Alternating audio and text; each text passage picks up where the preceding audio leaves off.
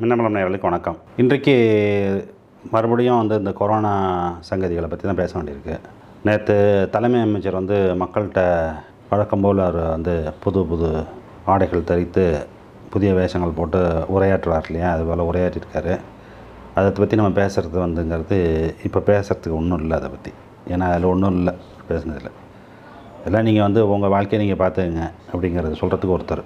அதுக்கு வந்து தலைமை அமைச்சர் அவருக்கு அத்தனாயிரம் கோடியில் ஏரோப்ளேன் வாங்கி கொடுத்துருக்கீங்க. எதுக்கு? ஊரெல்லாம் சுற்றிட்டு வரத்துக்கு சுற்றிட்டோம் ஏன்னா தலைமை அமைச்சராக அவர் போய் மக்களெல்லாம் சந்திக்கணும்ல.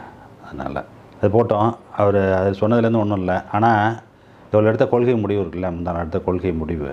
எப்படி அப்படின்னா ரெண்டு மூணு முடிவுகள். அதை பற்றி விவரங்கள்லாம் வந்தோன்னே நம்ம பேசுவோம் அப்படின்னு நான் உங்கள்கிட்ட சொல்லியிருந்தேன். ஒரு முடிவு என்ன அப்படின்னு கேட்டிங்கன்னா மே ஒன்றாந்தேதிக்கு அப்புறம் பதினெட்டு வயதிற்கு மேற்பட்டவர்கள் அவர்கள் வந்து ஊசி போட்டுக்கொள்ளலாம் தடுப்பூசி போட்டுக்கொள்ளலாம் அப்படின்னு சொன்னது. ஆனால் அவர்கள் போட்டுக்கொள்வதற்குண்டான மருந்து எங்கேருந்து வரும்? ஏதாவது மாடு கீடு ஏதாவது பெஞ்சுதுன்னா அதுலேருந்து வருமா? அப்படிங்கிறது நமக்கு தெரியாது. இல்லை க வெறும் தண்ணியை டேப்பில் பிடிச்சி போடுறதான்னு தெரியாது. அது உற்பத்தி பண்ணுற கெப்பாசிட்டி அப்படிங்கிறது வந்து இப்போதைக்கு அதிகமாக்க முடியாது. அந்த சமயத்தில் வந்து என்ன பண்ணியிருக்காங்கன்னு கேட்டிங்கன்னா இந்த அனௌன்ஸ்மெண்ட்டு ஒரு பக்கம்.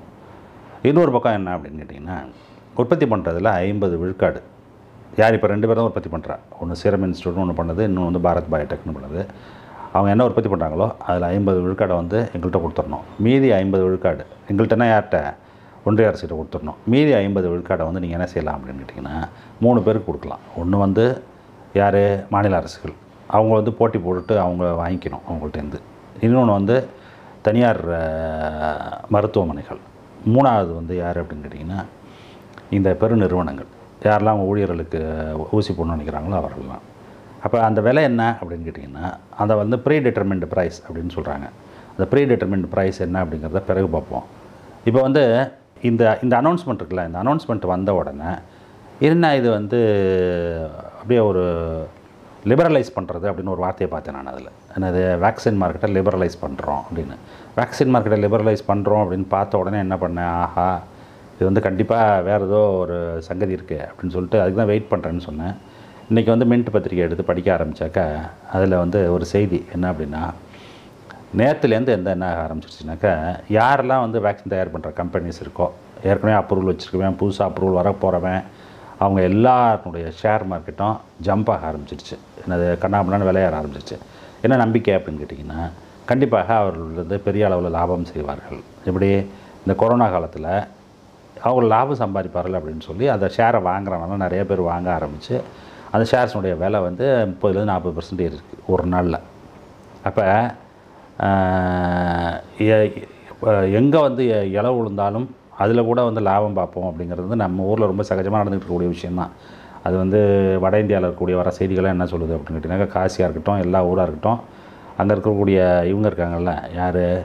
அந்த இறப்பை வந்து ஐதீக முறைப்படி செய்து கொடுக்குறவங்க இருக்காங்கல்ல அந்த ஐதீக முறைப்படி செய்து கொடுக்கக்கூடியவர்கள் வந்து முப்பதாயிரம் கேட்குறாங்க நாற்பதாயிரம் கேட்குறாங்கன்னு. அப்புறம் அரசே தலையிட்டு வந்து என்ன பண்ணியிருக்கு அதனுடைய விலையை வந்து நாங்கள் அதுக்குண்டான காஸ்ட் இருக்குல்ல அதை நாங்கள் ரெகுலேட் பண்ணுறோன்னு ஏதோ பண்ணியிருக்காரு ஒரு செய்தி வந்துக்கிட்டு இருக்கு. அது ஒரு பக்கம்.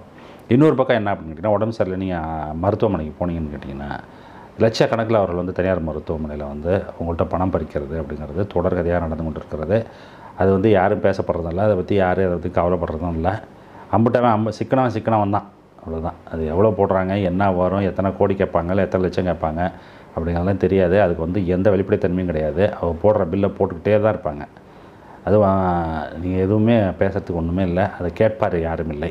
அதுக்கு பதிலாக வந்து மருத்துவத்தை நாங்கள் வந்து இப்போ வளர்த்து எடுத்துட்டோன்னு வெறும் பீத்த பேச்சு தான் பேசிகிட்டு இருக்கோம். அது ரெண்டாவது. மூணாவது வந்து இந்த மாதிரி ஒரு அறிவிப்பு வெளியிட்ட உடனே டீரெகுலேட் பண்ணுறேன் அப்படின்னு சொன்ன உடனே ஷேர் மார்க்கெட்டை அந்த மா கம்பெனியினுடைய ஷேர் மார்க்கெட்டில் விலை ஏறுது. இப்போ ஏன் இது எப்படி ஏறுது அப்படின்னு கேட்டிங்கன்னா ஒன்றும் இல்லை. இப்போ வந்து பதினெட்டு வயதுக்கு மேல் இருப்பவர்களுக்கெல்லாம் ஊசி போடலாம் அப்படின்னு சொன்னாலே என்னென்னா வேக்சினுடைய டிமாண்டு பெரிய அளவில் அதிகமாக போகுது. ரெண்டாவது வந்து என்ன தெரியுமா ரொம்ப முக்கியமான விஷயம் டிமாண்ட் அதிகமாகிறது மட்டும் இல்லை. இவங்க வந்து ஐம்பது பர்சன்ட் மட்டும் என்ன பண்ணிட்டாங்கன்னு கேட்டிங்கனாக்கா எங்கள்கிட்ட கொடுத்துடணும் அப்படின்னு சொல்லி அவங்க நூற்றம்பது ரூபாய்க்கு வாங்கிட்டு இருக்காங்க அது யார் யார் பண்ணாலும் அவங்க யார் மேலே உத்தரவு போட்டாலும் அவங்களது அவங்கள்ட்டேருந்து ஐம்பது பர்சன்ட்டுக்கு விலைக்கு தான் ஐம்ப ஐம்பது பர்சன்ட் ப்ரொடக்ஷனை வந்து அவங்க என்ன செய்வாங்கன்னா அவங்க குறிப்பிட்ட விலைக்கு அவங்க என்ன விலைக்கு வாங்குறாங்கன்னா நூற்றம்பது ரூபா விலைக்கு வாங்குறாங்க. அந்த மீதி இருக்க ஐம்பது பர்சன்ட் இருக்காங்க பார்த்தீங்களா அதை என்ன பண்ணிட்டாங்கன்னா அவுத்து விட்டாங்க. எப்படி அப்படின்னு கேட்டிங்கன்னா நீங்கள் வந்து ஃப்ரீயாக நீங்கள் விலையை வந்து நீங்கள் தீர்மானிச்சிங்க. ஆனால் முன்னாடியே சொல்லிடணும். ரைட்டா அப்படின்ட்டு. அப்படின்னு சொன்னால் இந்த பெரிய வித்தகர்கள் நிபுணர்கள்லாம் இருக்காங்கல்ல ஷேர் மார்க்கெட் நிபுணர்கள்லாம் சொன்னாங்க நிறைய பேர் உள்ளே வருவான். எது டிமாண்ட் சப்ளை சங்கதியில். நிறைய பேர் உள்ளே வருவான். அதனால் வரும்பொழுது வந்து அப்படி ஒன்றும் விலைய வேலை பெரிய விலை ஏறிடாது. இப்போ நூற்றம்பது ரூபா விற்கிறதுங்கிறது நூறுரூவா இரநூறுவா கூட விற்கும் இரநூத்தம்பது ரூபா முந்நூறுரூவா விற்கும் அவ்வளோதான் அதுக்கு மேலே ஆகாதுன்னு இவன் நிபுணர்லாம் கருத்து சொல்கிறான் ஆனால் இந்தியாவில் இல்லை. உலகத்திலே மிகப்பெரிய மே வேக்சின் மேனுஃபேக்சரான சீரம் இன்ஸ்டியூட்டினுடைய முதலாளி இருக்கார் பூனாவாலா. அவர் என்ன சொல்லிட்டார் அப்படின்னு கேட்டிங்கன்னா நாங்கள் ஆயிரம் ரூபாய் குறைஞ்சி கொடுக்க முடியாது அப்படின்ட்டு. அதே மாதிரி பாரத் பயோடெக் பண்ணுறது வந்து என்ன சொல்கிறாங்கன்னா எழுநூற்றம்பது ரூபாய் குறைஞ்சி நாங்கள் தர மாட்டோம்ன்ட்டு இப்போது என்ன நடக்குதுன்னா நூற்றம்பது ரூபாய்க்கு அரசு வாங்கி ஒன்றிய அரசு வாங்கி யார்கிட்ட அவங்க சப்ளை கொடுக்குறாங்களோ ப்ரியாரிட்டின்னு சொல்லி அவங்க கொடுக்குற அவங்கள்ட்ட போய் போட்டுக்கிட்டீங்க அப்படின்னு சொன்னால் அது இலவசமாக போடப்படுகிறது. ஆனால் அது எவ்வளோ பேர் கவர் ஆகிருக்கு அப்படின்னு கேட்டிங்கன்னா மொத்த ஜன மக்கள் தொகையில் ஏழு பர்சன்ட் ஆட்கள் தான் இது வரைக்கும் கவர் ஆகிருக்குது இப்போ அடுத்து வந்து அடுத்த வேவ் வரும்போது மக்கள் போகிறாங்க அங்கே போதுமான அளவுக்கு மருந்து இல்லை நிறைய இடங்களில் திருப்பி அனுப்பப்படுகிறார்கள். அது ஒரு பக்கம். இன்னொரு பக்கம் தனியார் மருத்துவமனையிலையும் போடுறாங்க. தேர்ந்தெடுத்த சில மருத்துவமனைகளில் மட்டும். இப்போ நான் அது மாதிரி தான் போட்டுக்கிட்டேன். அது வந்து ஒரு ஷாட் போடணும் அப்படின்னு சொன்னோம்னா இரநூத்தம்பது ரூபா அவங்களுக்கு. நூற்றம்பது ரூபா மருந்து அவங்க எவ்வளோ கொடுக்குறாங்கன்னு தெரியல ஆஸ்பத்திரிக்கு. அது நம்மள்ட்ட இரநூத்தம்பது ரூபா வாங்கிக்கிறாங்க. சரி ஆனால் இந்த வந்து நீங்களே விலையை தீர்மானிச்சிக்கலாம் அப்படின்னு சொன்ன உடனே அது என்ன ஆக போகுது அப்படின்னு கேட்டிங்கன்னா அது வந்து ஆயிரம் ரூபாய்க்கு போகும் அப்படிங்கிறாங்க. இரநூத்தம்பது ரூபா எங்கே இருக்குது ஆயிரம் ரூபாய் எங்கே இருக்குது அப்போது இது வந்து தேன் வந்து வ- தேன் வடிய போகுது தேன் தேன் கூட்டில் தேன் சேர போகுது வடிய போகுதுன்னொன்னே நரிகள்லாம் என்னாச்சு? சு அதை வந்து சுற்றி இது பண்ணுறதுக்கு வர ஆரம்பிச்சிருச்சு. சரி இப்போ எந்தெந்த இதெல்லாம் விலை ஏறி இருக்குன்னு பாருங்கள் doctor Reddy's.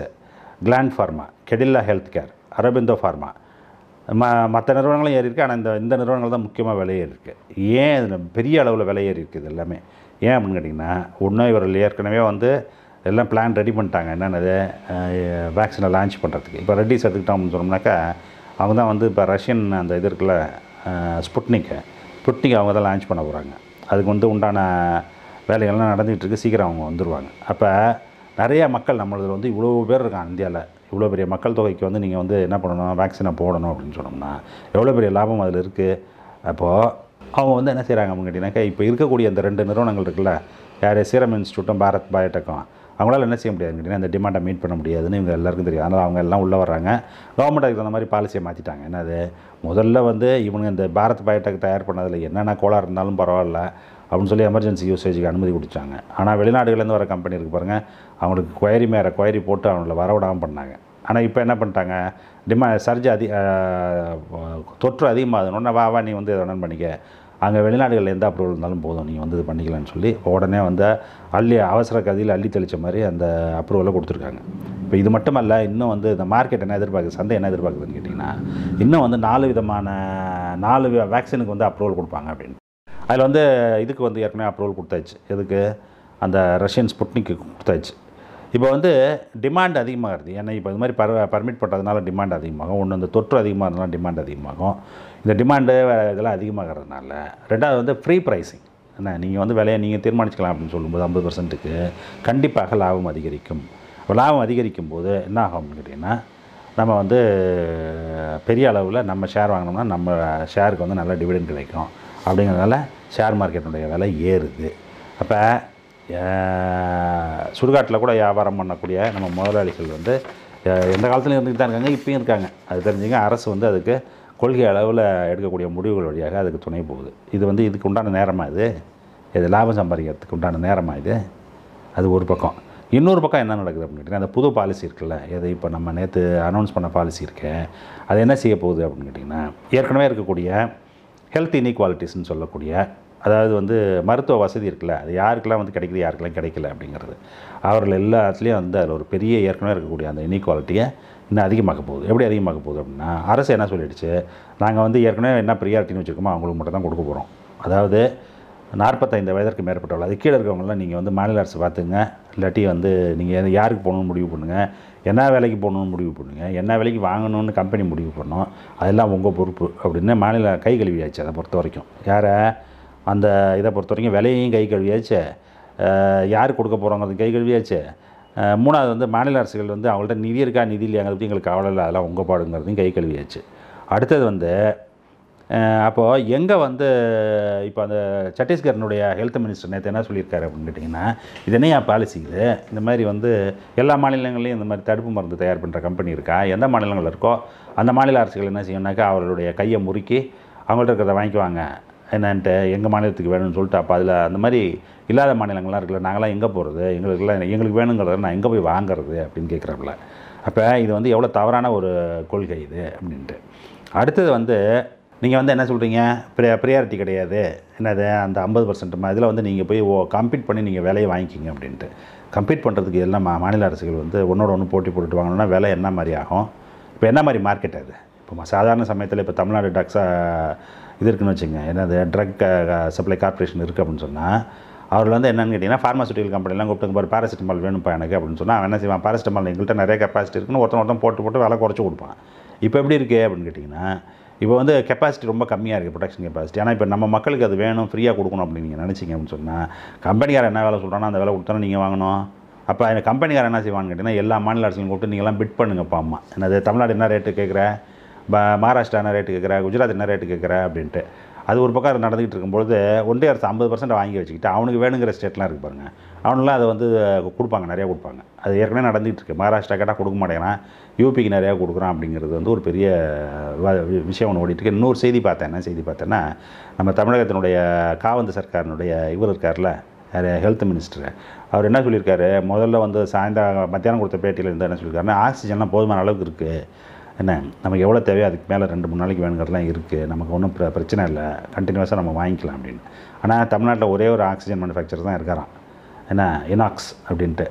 அது வந்து எங்கே ஐம்பத்தொழில் எங்கே இருக்குன்னு பார்த்தீங்க ஞாபகம் எனக்கு.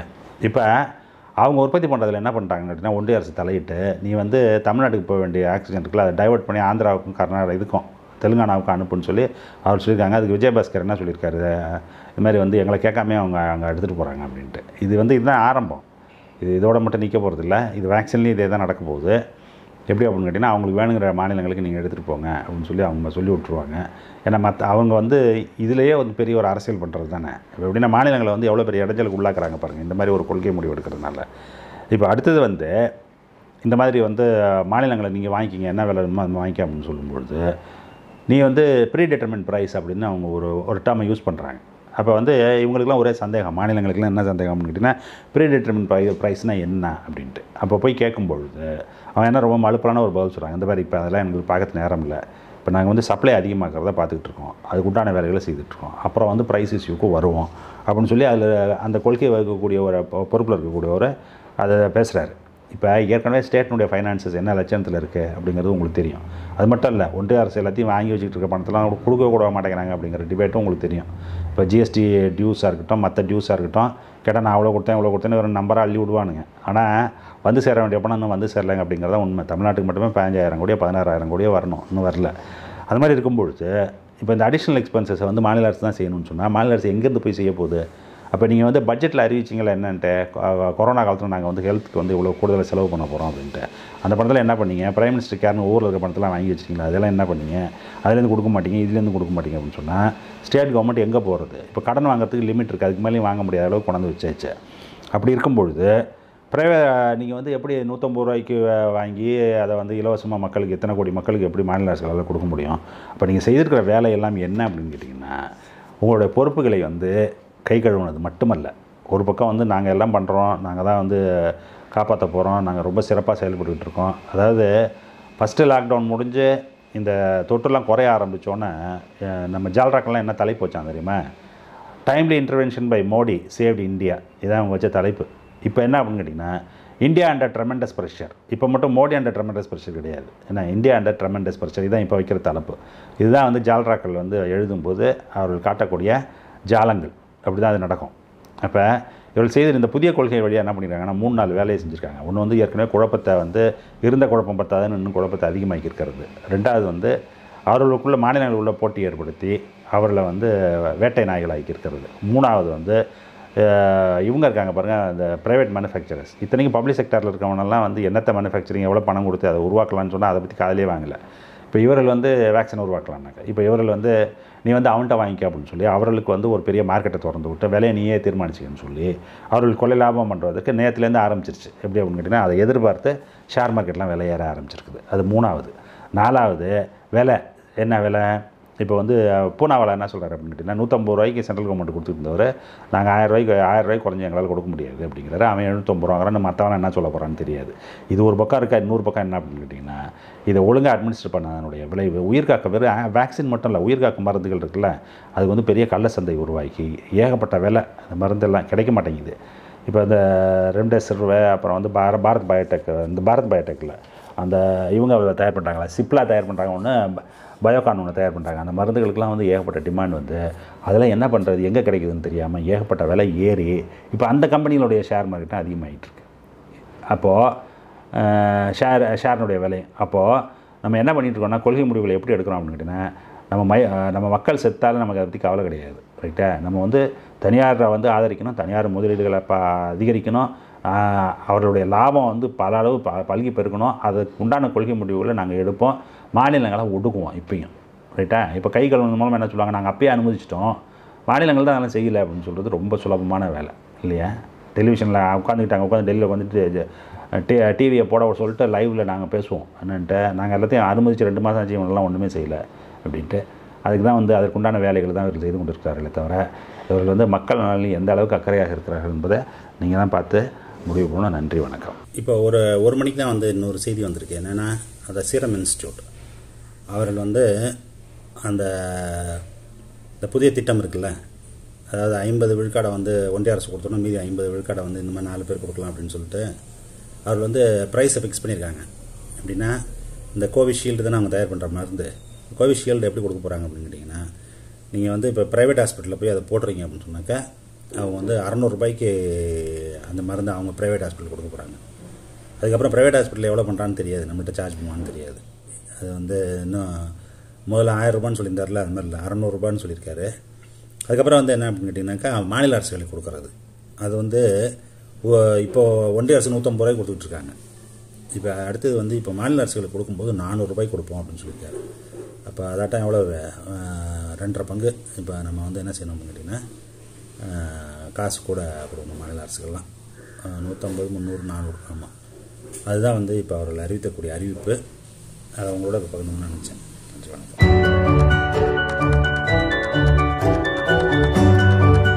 லைக் பண்ணுங்க ஷேர் பண்ணுங்க கீழே கமெண்ட் பண்ணுங்க. மின்னம்பலம் யூடியூப் சேனலை சப்ஸ்கிரைப் பண்ணுங்க.